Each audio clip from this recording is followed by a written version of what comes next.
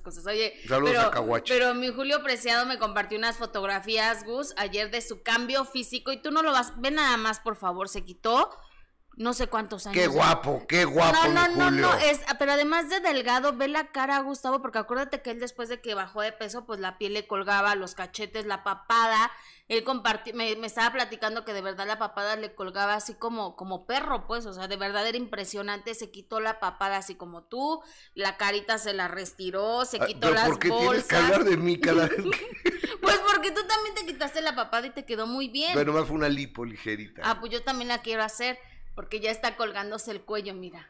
Bueno, síguele. Y, y me compartió mi querido Julio estas fotografías de su cambio, que obviamente después de adelgazar, pues, pues obviamente la cara también tenía que hacerse un cambio, se ve espectacular.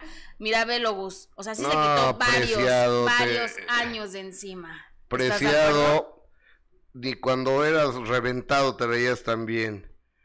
Sí, se ve súper bien. Se ¿eh? ve súper bien, Gustavo, porque te digo que después de que bajó de peso, obviamente la cara, pues sí, pues colgaba la piel, ¿no? Obviamente. ¿Quién crees que me mandó un mensaje ¿Quién? hoy en la mañana? ¿Quién? El cirujano plástico de Julio Preciado. Ah, sí, que porque me dijo que te estaba esperando que porque tú le dijiste que te querías hacer lo de los ojos. Pero me mandó un mensaje hoy en la mañana, entonces dije, ya, el destino nos está uniendo. Ay, que me mande un mensaje caguachi a mí ¿Para, ver si me hace un descuento. Pero Kawachi no hace Que operaciones. diga Krasovsky, ay no, caguachi no, ni Dios lo quiera. Y Krasovsky también mandó un mensaje hoy en la mañana. ¿Y qué te dijo? No, para una cena, para otra cosa. Ay, háblale bien de mí, no seas malo. Bueno, dile ¿con- que me quiere hacer ¿con varios quieres? ¿Y con el de Julio Preciado No, con Krasovsky. o con Jorge Krasovsky? No, con Krasovsky. Con Krasovsky, háblale bien de mí. Oye, y entonces Julio Preciado nos platica sobre esta, eh, este cambio tan radical que tuvo, pero también escucha muy bien lo que opina de Edwin Casbus, porque sin duda eh, uno de los más grandes de la música eh, regional es Julio Preciado, de la música de la banda, y hace unas declaraciones eh, pues, contundentes en- eh, sobre Edwin Casbus. Vamos a escuchar esto. Adelante. Señor Julio, qué gusto saludarlo. Platíquenos cómo está de salud. Me quedé preocupada que se iba a hacer una prueba de COVID. No, no, salió todo bien, gracias a Dios, todo bien, nada más eh, es el susto, ya estamos paranoicos, pero muy bien, muy bien, muy bien. La operación va caminando, ya, ya menos deshinchado, y lo más importante, ¿no? Que estoy trabajando y cantando. Ahora sí que estoy cantando como dice la canción, como el primer día, ¿no? Que es lo más importante. Lo vimos en fotografías hace poco y, y la verdad es que se ve muy bien, señor Julio. ¿Cómo se siente usted el verse en el espejo, verse tan cambiado, rejuvenecido, que ha sido un cambio completo en su vida? Así es, mira, yo cuando cuando le cuando le comenté eso a Gustavo de que me iba a hacer una cirugía estética en, en la cara, yo se lo dije y se lo vuelvo a decir, te lo vuelvo a decir ahorita, ¿no? A la gente que que, que, que, que esté escuchando esta plática, la verdad te lo vuelvo a decir. Creo que me sentía muy bien yo por dentro, muy bien me sentía por dentro porque ya me perdiendo kilos y todo, pues te sientes eh, otra persona. El hecho de perder peso te hace ser otra persona, y así que definitivamente. Claro. Pero yo quería también verme bien por fuera, no es vanidad. Quería darle a mi público eso, ¿no? Que el que me vean por dentro, el que me quieran bien por dentro, pero el que me vean muy bien por fuera también. Creo que esa era parte importante de esto, ¿no?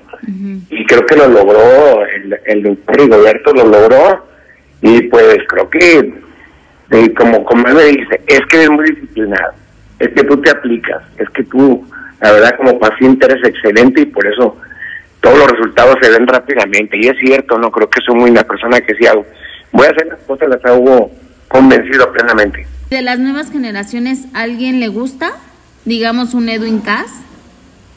Eh, fíjate que es un estilo diferente, tiene un carisma enorme Edwin y la, verdad la verdad tengo, tengo el orgullo de, conocerlo y todo, pero te digo, es un, es un estilo diferente, pero sobre todo lo que yo creo que rescata más que todo a Edwin es su carisma. Tiene un carisma eh, enorme con la gente, porque la verdad, y tienen muchísima suerte. Vivieron en, una, en un tiempo donde las redes sociales se hacen de la noche a la mañana y lo comentamos eso eh, varios compa ex compa- digo, compañeros míos de, de, la, de, la, de la vieja guardia que la verdad ah, no les tocó sufrir lo que lo que se sufre eh, como sufrimos nosotros no es, es mucha suerte tener un, un hit en redes sociales te hace un, un, artista de la noche a la mañana. Y nosotros no.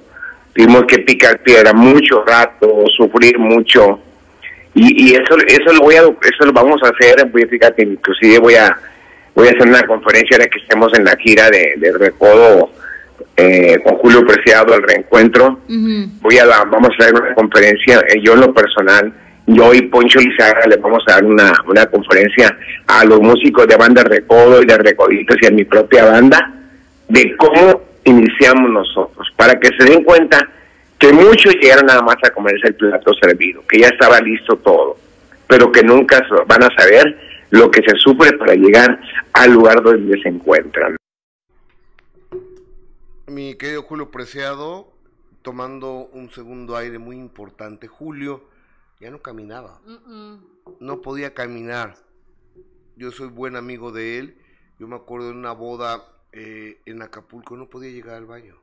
Se cansaba. No podía llegar al baño. Julio y ahora está, está muy bien. Te felicito, gordo querido. Ex gordo ya. Ex gordo. Empieza obviamente esta gira eh, con, con el recodo, lo cual va a ser una, una maravilla verlos juntos en el escenario y, y quizá tenga... Y, yo creo que va a haber algunas fechas con, con Mario Bautista. Qué buena canción, ¿verdad? Con el recodo, me encantó. Me gustó más con banda, fíjate. Las dos están muy buenas. La, la de él me gusta mucho porque es como acústica, pero es acústica en, en original, o sea, no le hicieron acústica a la fuerza, es acústica original, pero orquestada con la banda del recodo. ¡Wow! ¡Wow! Y con las tres voces, los dos vocalistas del recodo, más Mario Bautista, está padrísimo. Y sabes qué, de lo que habla respecto a los artistas que gracias a las redes sociales se hacen, pues yo, yo creo que tiene toda la razón. Ellos vivieron otra época que vivió, sí fue vivió en otra época, pero tampoco es tan sencillo. O sea, se hacen este los que tienen verdadero talento porque hoy por hoy estás compitiendo con millones. No siempre. Pero estás por ejemplo, con millones. Pero no, no todos tienen talento. Eh, como quienes no. Como Natanael Cano, por ejemplo. Es que, a ver, yo no tengo los elementos. Pero lo has escuchado cantar un par de veces, pero yo quiero, yo quiero hacer un análisis de ese muchacho porque es un hit. Ah, no, sí, de que es un hit, pero es lo que se refiere Julio Preciado. O sea, es un hit porque lo marcan las redes sociales. A ver, las redes sociales son el reflejo de una sociedad. Por eso, pero no por eso quiere decir que sea un chavo que, que cante bien. A ver, es que yo no tengo los elementos para decirte si sí o si no. Tendría que hacer un estudio y en eso ando porque además estoy solicitando una conversación con bueno, él. Bueno, pues yo lo que he visto de Natanel Cano me parece que no canta bien. Pero es un fenómeno, ¿no? Es un fenómeno que empezó en las redes sociales y que entonces eh, una Justin Bieber empezó en las redes sociales. Bueno, pero él sí es un chavo talentoso. O sea, pero también hay mucha gente talentosa que gracias a las redes sociales se han hecho un hit. Y, y no, no hay que irnos muy lejos, hay muchos youtubers que pues que de verdad no tienen el mínimo talento, pero que pero que son un hit en las redes sociales.